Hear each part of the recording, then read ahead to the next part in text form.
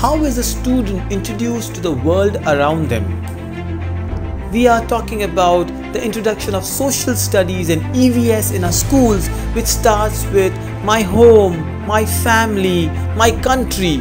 And by the time child is in grade 5, she realizes that she all she did was do a family tree and had no idea how to connect with the family.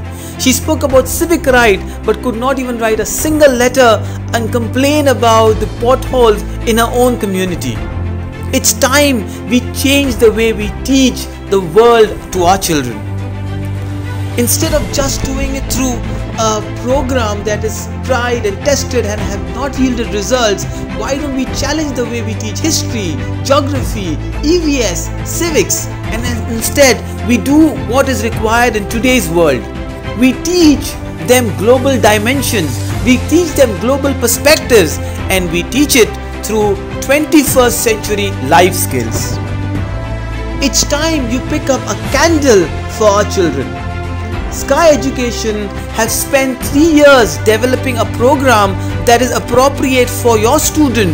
It could be in a small community, in a cloud circle, or in the school skill area, we call it the air. Imagine combining the powers of WHO and WEF, World Health Organization and World Economic Forum and make it a skill program that achieves the UN Sustainable Development Goal. So you open up a candle which is the name of the curriculum for teaching life skills. You will come across China and how is the world changing with Chinese product. That's your civics and geography at the same time. You'll also speak about goal setting, SMART goals. What are the goals that a student need to set to achieve a vision? We'll speak about entrepreneurship, a concept that is alien in a school life. They learn about Elon Musk and Nicholas Tesla. And they talk about this in how to survive in today's time. It's a program that combines the mock UN and the TEDx in your school.